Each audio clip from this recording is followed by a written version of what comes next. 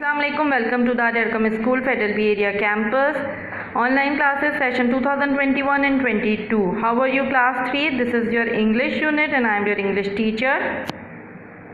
Students of class 3 this is your activity book and we are going to do some uh, some worksheets on the activity book. As I know that you don't have your uh, English notebooks and uh, English workbook ठीक है so please take out your activity book students you can find this worksheet from the activity book in English portion ठीक है kindly do not tear it first you have to write the sentences on it and save it as at ठीक है इसको as it is आपने save करना है and write down the date and day on the worksheet ठीक है on which day and day uh, you will get this video and after getting the notebook you will have to tear it from the activity book and paste it on the grammar notebook ठीक है grammar की जो English grammar की आपकी notebook है उसमें आपने बाद में इसको पेस्ट करना है जब आपको कॉपी मिल जाएगी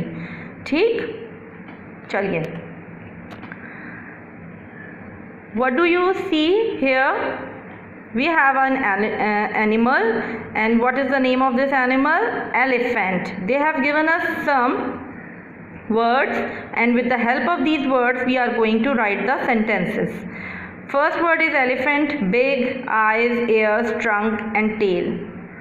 Students i know that you are able to do uh, this work by your own self so i will explain it only and you will write the sentences at home first picture uh, first word is elephant so you can write the sentence this is a picture of elephant of an elephant elephant has big ears है ना ears हैं इसके big तो इसमें आपका big और ear दोनों cover हो जाएगा elephant has black shiny eyes elephants have a long trunk and a strong trunk a short tail ठीक है some lines about the uh, elephant with the help of these words. This is your work to do at home. Students, you can also find this worksheet from the activity book in the portion of English. ठीक है and what is this it is about punctuation you have to write down the date and day here also ठीक है write the correct punctuation to complete the sentence and what do you understand with the term punctuation we need to reassemble or we need to assemble the sentences according to the words अगर question है तो हमें इसको question mark लगाना है। Sentence uh, complete है तो हम फुल स्टॉप लगाएँगे। And this is the sign of exclamation exclamation is the sign where we put it हम कहाँ इसको लगाते हैं? We put it here on the word after the word where we express our feelings ठीक है? वो bad हो सकती हैं गुड हो सकती हैं सैड हो सकती हैं हैप्पी हो सकती हैं। हुर्रे, है ना? हम हुर्रा भी कहते हैं। ठीक है? फिर हम उसमें क्या होगा एक्सप्लेनेशन एक्सक्लेमेशन का साइन आ जाएगा। कोई भी हम अपनी फीलिंग को एक्सप्लेन कर रहे होंगे एक्सप्रेस कर रहे होंगे अपनी फीलिंग तो जो वर्ड हमारी फीलिंग को एक्सप्रेस कर रहा होगा after that word we put the sign of exclamation ठीक है? A big lion is roaring in the cage roaring in the cage ठीक है? This is a sentence a complete sentence so we put a full stop here I can see a little turtle in the sea. This is a complete sentence. So we put put a full stop here. ठीक है अच्छा punctuation में capital letters भी आते हैं commas भी आते हैं but they don't ask us to write the capital letters and the commas they have only asked us to put full stop question mark and exclamation sign ठीक है Girls love playing with dolls. This is a sentence, a complete sentence. So we put a full stop here.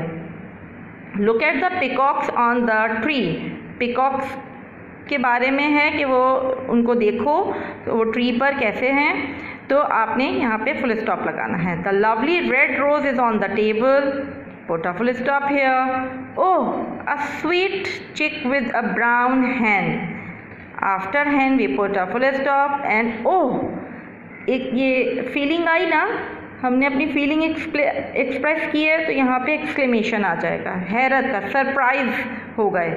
ठीक है?